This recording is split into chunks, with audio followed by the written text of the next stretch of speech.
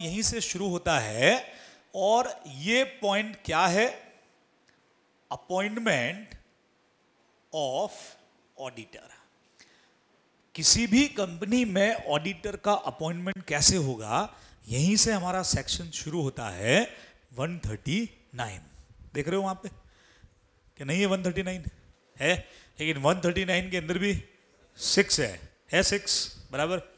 तो सर ये अंदर का सबसेक्शन भी याद करना पड़ेगा क्या? याद करो तो बहुत अच्छी बात है। नहीं तो 139 भी याद रख लोगे तो बहुत है। अब हुआ क्या? थोड़ा सा इस बार दिक्कत है नए कंपनीज़ एक्ट में। पुराने कंपनीज़ एक्ट में सिर्फ़ इतने सेक्शन नहीं थे। 139 से 148 नहीं, बहुत ज़्यादा सेक्शन है। इससे करीब करीब आप समझो 10 सेक्शन और ज़्यादा थे। नए कंपनीज़ एक्ट में इन्होंने सेक्शन तो कम कर दिए लेकिन अंदर का मैटर सब सेक्शन बहुत बढ़ा दिया। पहले जो 139 मान लो 140 141 में जो चीज़ें थी, वो इसी के अंदर घुसा दी। तो अब हर सब सेक्शन अपने आप में उतने ही वेटेज रख रहा है, जितना एक सेक्शन रखता है। इसलिए बड़ा टॉपिक बन गया, काफ़ी चीज़ें लंबी हो गई एक ही सेक्शन के अंदर। तो सबसे पहला काम आज अपन जो शुरू कर रहे हैं, बहुत सिंपल काम शुरू करेंगे। अपॉइंटमेंट ऑफ़ ऑडिटर किसी भी ऑडिटर का अपॉइंटमेंट एक कंपनी में कैसे होता है? अब कंपनी लॉ ने क्या किया? इसमें एक बढ़िया काम किया कि कंपनीज़ को दो पार्ट में डिवाइड कर दिया है। सिंपल दो पार्ट में डिवाइड किया, जिसका आज आपको सिर्फ़ एक पॉइंट पढ़ा रहा हूँ मैं, ठीक है? एक तो इन्होंने कर दिया अदर देन गवर्नमेंट कंपनी बराबर? और अलग प्रोविज़न बना दिए किसके लिए? गवर्नमेंट कंपनीज़ के लिए। सर, ये गवर्नमेंट कंपनी क्या होती है? वही जो कंपनीज़ एक्ट 2013 के सेक्शन 245 में होती है। क्या होती है भाई वो? क्या होती है? गवर्नमेंट कंपनी सरकारी कंपनी वो है, जिसकी कैपिटल के 50 परसेंट से ज़्यादा पर मोर देन 50 परसेंट पर सेंट्रल गवर्नमेंट का, केंद्र सरकार या स्टेट गवर्नमेंट राज्य सरकार का या इनके किसी कॉम्बिनेशन का कंट्रोल है, वो कंपनी कहलाती है गवर्नमेंट कंपनी इसीलिए साथ में लॉ का नॉलेज होना ज़रूरी है, उसके बिना ये ऑडिट का चैप्टर नहीं कर सकते अपन। तो हमने ऑडिटर के अपॉइंटमेंट को कंपनी में ऑडिटर के अपॉइंटमेंट को दो पार्ट में डिवाइड किया। अदर देन गवर्नमेंट कंपनी और गवर्नमेंट कंपनी तो ये पोर्शन तो बहुत छोटा है, इसके लिए तो दो तीन सेक्शन ही है टॉपिक खत्म। सबसे मेन काम रहेगा ये, क्योंकि चाहे आपकी कंपनी फिर बड़े लेवल पे पब्लिक हो चाहे प्राइवेट हो, आपके लिए सेक्शन काम करेगा ये। ज़्यादातर तो यही करेगा ना, ये तो बहुत छोटा मोटा पॉइंट हो गया, है ना? तो अदर देन गवर्नमेंट कंपनी में भी ऑडिटर के अपॉइंटमेंट को हमने दो पार्ट में डिवाइड किया। ठीक है? पहले है अपॉइंटमेंट ऑफ़ फ़र्स्ट ऑडिटर पहला ऑडिटर क्या होगा, कैसे अपॉइंट होगा, उसका रूल अलग। है ना? और दूसरे नंबर पर है appointment of subsequent auditor. Subsequent का मतलब पश्चातवर्ती बात का सेकंड थर्ड फोर्थ जो भी है है ना? तो अब हिंदी वालों अगर नोट करोगे इंग्लिश में करो ये भी नोट हिंदी नोट्स मिलेंगे उसमें, हिंदी में पढ़ोगे। लेकिन ये तो समझ में आता है, गैर सरकारी कंपनियाँ सरकारी कंपनियाँ, दिक्कत ही नहीं है। मैंने लिखा अपॉइंटमेंट ऑफ़ फ़र्स्ट ऑडिटर प्रथम अंकेक्षक की नियुक्ति सब्सिक्वेंट के लिए, पश्चावर्ती, पश्चातवर्ती, है ना? पहली बार ऑडिटर अपॉइंट होगा, यहाँ होगा। पहली बार का मतलब नई नई कंपनी बनी है नया नया इनकॉर्पोरेशन हुआ है। तो नया इनकॉर्पोरेशन होता है तो पहले ऑडिटर का अपॉइंटमेंट कौन करेगा? उसके रूल अलग है। उसके बाद सेकेंड थर्ड फोर्थ फिफ्थ जो भी ऑडिटर आएगा, बाद में जो भी आएगा, जब भी आएगा, उसके लिए रूल सारे अलग हैं। ठीक है? उसके लिए रूल सारे अलग बने हुए हैं। ठीक है? तो अब अपने को रूल समझने हैं, रूल पढ़ने हैं, याद रखने हैं। बहुत अच्छा टॉपिक है।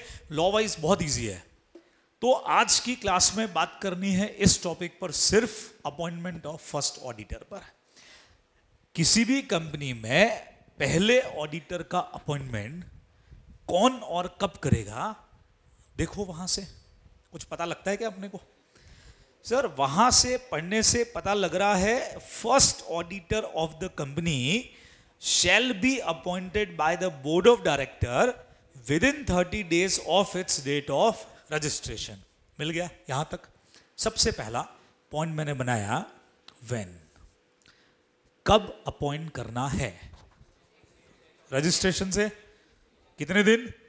तीस दिन। थर्टी लिखा हुआ है। तो मैंने लिख दिया thirty days from date of registration. समामेलन की तारीख से तीस दिन के भीतर। बराबर? सपोज़ करो कि रजिस्ट्रेशन हमने करवाया है, हमारी कंपनी का आज की डेट ही ले लेते हैं ना, या कोई ऐसी डेट लेते हैं जिस पे आराम से काम कर पाए। फ़र्स्ट में 2017 एक तारीख रहेगी तो थोड़ा इजी कैलकुलेशन हो जाएगी। एक मई 17 को हमारी कंपनी का रजिस्ट्रेशन हुआ है। सर्टिफिकेट पे डेट लिखी हुई है। बताइए ऑडिटर फ़र्स्ट वाला कब तक अपॉइंट हो जाना चाहिए? यहाँ से तीस दिन, यहाँ से तीस दिन बोले तो? इकतीस मई तक, एक को इंक्लूड करते हुए इकतीस मई तक हो जाना चाहिए, क्या बोलते हो भाई इकतीस मई, तीस मई, क्या बोलोगे? तीस मई तक, एक को इंक्लूड करके एग्जैक्ट तीस दिन हो गए। तो यहाँ से तीस दिन thirty days up to thirtieth में पहले ऑडिटर का अपॉइंटमेंट हो जाना चाहिए। अब ये सब पढ़ेंगे अपन, कौन होगा ऑडिटर क्या होगा? इतना तो सब जानते हो कि सीए होगा। और वो भी कौन सा वाला? जिसके बाद सीओपी होगी। बाकी सब कुछ अभी कुछ नहीं। दिमाग में रखना है, सब सीए होगा, जिसके बाद सीओपी होनी चाहिए। और इस ऑडिटर का अपॉइंट कौन करेगा? हु हु कैन अपॉइंट कौन अपॉइंट कर सकता है? तो आपके पास जवाब आया board of directors authority to appoint है ना? बहुत सिंपल काम, चीज़ें याद रखनी पड़ेंगी। बहुत आसान है। फ़र्स्ट ऑडिटर पहला ऑडिटर अगर एक्सेल कॉमर्स एकेडमी बनती है, एक मई 2017 को हमारा रजिस्ट्रेशन होता है तो लॉ कहता है, भैया, आपको यहाँ से 30 दिन में बीओडी इसकी जिम्मेवारी है कि वो ऑडिटर का अपॉइंटमेंट कर दें। बराबर? बाय चांस हमारा बोर्ड 30 दिन में अपॉइंट करने में फेल हो गया। हम नहीं कर पाए, किसी कारणवश, किसी रीजन से हम ऑडिटर का अपॉइंटमेंट 30 दिन के अंदर नहीं कर पाए तो देखो लॉ ने प्रोविज़न बनाया होगा ज़रूर। In case of failure to do so by board अगर बोर्ड ऐसा नहीं कर पाए, क्या लिखा है? The member shall be informed company के मेंबर्स को इसकी इंफॉर्मेशन दी जाएगी, है ना? And they shall appoint the same within कितना लिखा है? 90 डेज़ फ्रॉम इनकॉर्पोरेशन, यहाँ तक, बस यहाँ तक अभी। तो अगला पॉइंट आया मेरा, इन केस ऑफ़ फेलियर। अगर बोर्ड अपॉइंट करने में फेलियर हो गया तो बताओ अपॉइंट कौन करेगा? तो पॉइंट बना कंपनी के मेंबर्स मतलब शेयर होल्डर्स ठीक है? कितने दिन में? सब लोग दिमाग लगाना विद इन, कितना? 90 डेज़। 90 लिखा हुआ है? कहाँ से? कहाँ से? From incorporation. तो सोचो, एक्चुअल में कितने मिले? चला दिमाग, साठ दिन ही मिले। सोचो, कि नहीं सोच रहे हो? यही तो लॉ है। समझ में आई बात? अरे, एक्चुअल में तुमको सिक्सटी डेज़ ही मिल रहे हैं अब। ऐसा क्यों? साठ ही क्यों?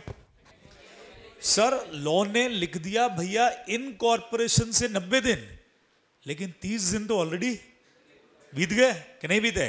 भाई, पहले तीस दिन आपने बीओडीज को दे दिए बीओडीज अपॉइंट करने में फेल हो गए। सारे मेंबर्स को इन्फॉर्म किया मेंबर्स ने लॉ की बुक निकाली और बोला, हम अपॉइंट कर सकते हैं क्या? बिल्कुल कर सकते हो। कितने दिन में करना है हमको? इन कॉरपोरेशन से नब्बे दिन में। अरे, नब्बे में से तीस दिन तो चले गए। तो प्रैक्टिकली कितने बचे? साठ दिन ही हैं तुम्हारे पास में अपॉइंट करने के लिए, ये ध्यान रखोगे। लेकिन एग्ज़ाम में साठ दिन नहीं लिखना है। एग्ज़ाम में तो वही लिखना है जो लॉ कहती है। लॉ कहती है 90 डेज़, लेकिन पूरी लाइन लिखनी पड़ेगी। 90 डेज़ किधर से? From incorporation. प्रोविज़न बहुत आसान है, बहुत सिंपल है। दो चार बार बोलोगे तो ऐसे ही याद हो जाएगा। अदर देन गवर्नमेंट कंपनी में ऑडिटर का अपॉइंटमेंट सबसे पहले, फ़र्स्ट ऑडिटर का अपॉइंटमेंट कौन करता है? सर बोर्ड ऑफ़ डायरेक्टर कर देता है तीस दिन में। नहीं कर पाए तो। सो मेंबर कर देंगे।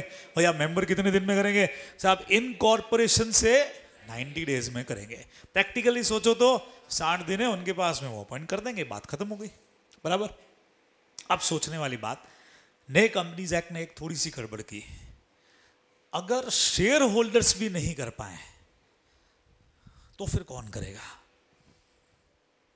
तो नए कंपनीज़ एक्ट में तो दिया हुआ था कि अगर 90 दिन में ये भी नहीं कर पाए तो हम सेंट्रल गवर्नमेंट को बोलेंगे। और सेंट्रल गवर्नमेंट साथ सेंट्रल गवर्नमेंट बोले तो कौन? अपना कंपनी लॉ का नॉलेज लगाओ। जो लोग सुबह पढ़ रहे हैं अभी, वो सुबह की क्लास का नॉलेज लगाओ। मैंने बताया था कौन डिपार्टमेंट है जो कंपनियों को कंट्रोल करता है।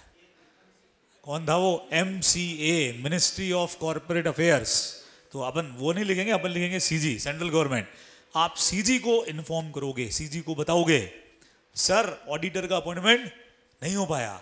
और सेंट्रल गवर्नमेंट सात दिन में फिर ऑडिटर का अपॉइंटमेंट करेगी। लेकिन ये सब था कंपनीज़ एक्ट 1956 में। नए वाले में कुछ नहीं बोला कि 90 दिन में ये नहीं कर पाए तो क्या करना है? कोई प्रोविज़न बनाया नहीं बनाया नहीं तो अपन यहाँ सिखा भी नहीं सकता, आपको मैं बात भी नहीं कर सकता। प्रैक्टिकल में कभी ऐसा होगा तब गवर्नमेंट को याद आएगी कि प्रोविज़न बनाना भूल गए तो बना देंगे। है ना? लेकिन फ़िलहाल तो यही प्रोविज़न है जो आपको ध्यान में रखना चाहिए। बराबर? बात हो रही है किसकी? फ़र्स्ट ऑडिटर की। कौन सी कंपनी में? अदर देन गवर्नमेंट में। कौन अपॉइंट करेगा? बोर्ड कितने दिन में? इन कॉरपोरेशन से तीस दिन में। नहीं कर पाए तो? मेंबर्स कर देंगे। मेंबर्स कितने दिन में? इन कॉरपोरेशन से 90 डेज़ में। हम जानते हैं कि प्रैक्टिकली साठ दिन इनके पास है ये आपको ध्यान में यहाँ पे रखना चाहिए। ठीक है? बराबर? बात समझ में आई? अब ये जो आदमी एज ऑडिटर अपॉइंट होगा, ये कितने टाइम काम करेगा? एक्चुअल में हर ऑडिटर का अपना एक टर्म है। याद रखिए, एक ऑडिटर किसी कंपनी में जीवन भर के लिए अपॉइंट नहीं हो सकता है। एक बार हमने अपॉइंट कर दिया, एक साल, दस साल के लिए। हाँ ऐसा नहीं है।